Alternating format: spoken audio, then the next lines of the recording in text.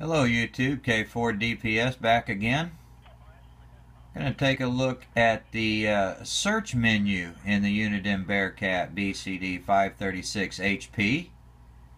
It's a very uh, useful uh, menu setting when you want to search for, uh, just search for some new uh, conventional frequencies. I'll show you how to, uh, to operate that and get that done.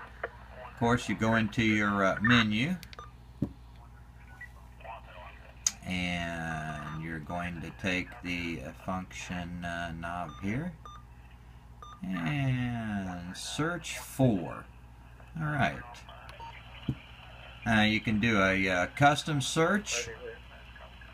You can edit your custom search. You can set your search key. Search with scan. And I'll tell you what, let's see what happens when we hit custom. Alright, uh, custom is, I've got that set and it's in, and it's uh, searching, currently searching, uh, as you see, low band. And it's very easy to enable and disable the search it's uh, like low band currently is on one. And if I wanted to turn that particular uh, band off I just press one. It goes straight to uh, six meters. Let's say I want to avoid that frequency. Just hit there. It temporarily avoids that. Add it up to military air. And picking up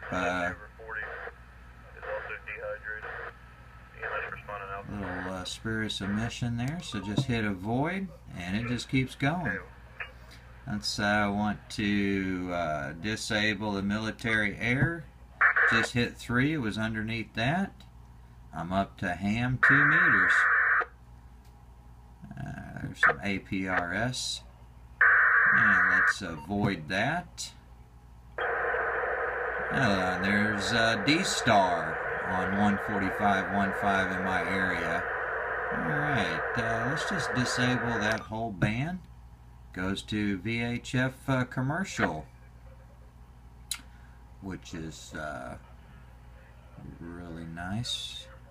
And goes into the federal band. And searches the federal band on VHF for you in 12.5 kilohertz steps, which is also uh, nice. Don't have to do any adjusting there and if you'd like you can adjust gives you that option. It also tells you the range that you're currently searching to down here at the bottom 406 to 420 and if I want to uh, let's see number 7 is flashing. If I want to disable that I just hit 7 and in order to turn uh, those bands back on, it's just as simple as hitting the uh, number that you, uh, I can turn 7 back on, 4 back on, 3 back on, 1 back on. And let's avoid that frequency. Uh, there's uh, some Moto Turbo on 461, 100, and 600 there. Let's avoid that. Just keep on going and keep on searching. Does you we're on UHF uh, commercial uh, right now, as you can see, and it is searching quite rapidly.